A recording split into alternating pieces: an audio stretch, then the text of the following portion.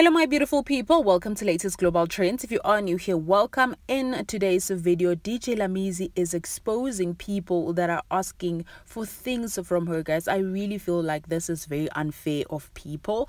Now, before we get into it, kindly subscribe to our channel. Please click on the notification bell and also give this video a like.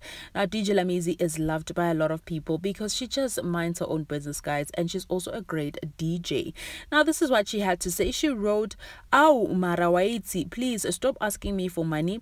I too need the very money you are asking for and don't have it. I also have responsibilities. I too am stressed. We all live in this ishy economy. It's hard for us all. The worst when you guys ask for trivial things like designer clothing for me to fund your parties and baby showers. None of those things are necessity. Are a necessity rather.